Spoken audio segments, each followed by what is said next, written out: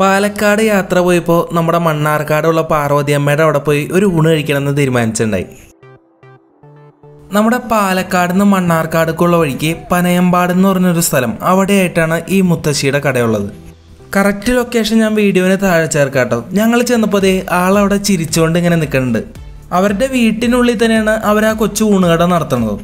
അകത്തേക്ക് കയറി ചെന്ന് കഴിഞ്ഞാൽ രണ്ട് ഡൈനിങ് ടേബിളും അതിന് ചുറ്റുമായിട്ട് ബെഞ്ചും കസേരയൊക്കെ ആയിട്ടിട്ടുണ്ട്. നമ്മൾ വീട്ടിലിരുന്ന് ഭക്ഷണം കഴിക്കണ പോലെ തന്നെ നമുക്ക് ഇവിടെ ഇരുന്നാലും കഴിക്കാം.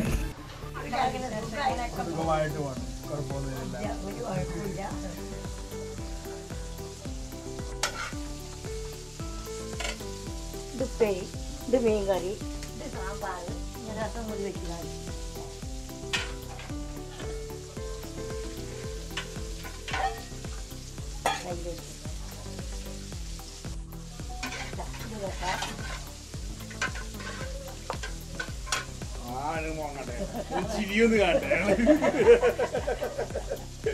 ഈ ഒരു പ്രായത്തിലും പാർവതിയമ്മ ഭയങ്കര ആക്റ്റീവാണ് ആളവിടെ ഓടി നടന്ന് ഇങ്ങനെ ഭക്ഷണം കൊടുക്കലും ഇടുക്കലൊക്കെ ആയിട്ട് ഇങ്ങനെ പണികളായിട്ട് നടക്കണ്ടാവും. മൊത്തം ആ വീട്ടുകാരൊക്കെ തന്നെ ഒരു മൂന്ന് പേരായിട്ടാണ് ഈ കട നടത്തണതൊക്കെ മുത്തശ്ശിയുടെ കടയിലെ ഏറ്റവും സ്പെഷ്യൽ എന്ന് പറഞ്ഞാൽ അവിടുത്തെ ഈ ഒരു മീൻ വറുത്തതാണ് കേട്ടോ ആ ചൂടോടെ പൊരിച്ചെടുക്കുന്ന മീനും അതിന്റെ ആ മസാലയൊക്കെ നല്ല രസമാണ്.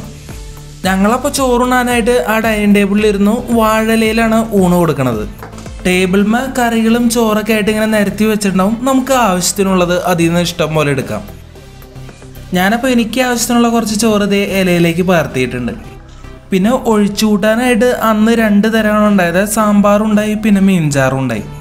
അപ്പോൾ ആ സാമ്പാറിൽ നിന്നും അതോടൊപ്പം തന്നെ മീൻചാറിൽ നിന്നും കുറച്ചെടുത്ത് നമ്മുടെ ആ ചോറിന്റെ മീതേക്ക് ഒഴിച്ച്.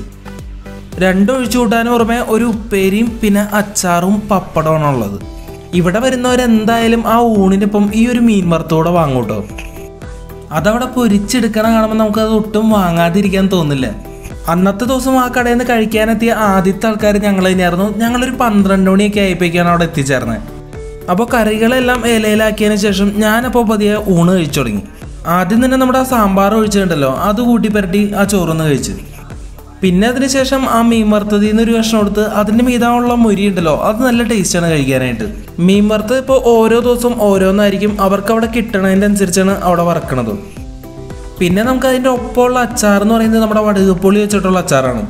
എല്ലാ ഐറ്റംസ് ആയാലും കഴിക്കുമ്പോൾ നമ്മളൊരു വീട്ടിൽ നിന്ന് കൊണ്ട് കഴിക്കില്ലേ ആ ഒരു പ്രതീതി തന്നെയാണ്. പിന്നെ തൊട്ടപ്പുറത്ത് നമ്മുടെ പപ്പടം ഇരിക്കണ്ടായി അതൊരു കഷ്ണം എടുത്ത് ആ ചോറിൽ പൊട്ടിച്ചിട്ട് നമ്മളൊന്ന് കൂട്ടി പുരട്ടി കഴിച്ചു. സാമ്പാറും മീൻചാറും ഒഴിച്ച് കൂട്ടി കഴിച്ചതിന് ശേഷം അവസാനം ആ ചോറിൽ കുറച്ച് രസം കൂടെ ഒഴിച്ച് കഴിച്ചു നോക്കി.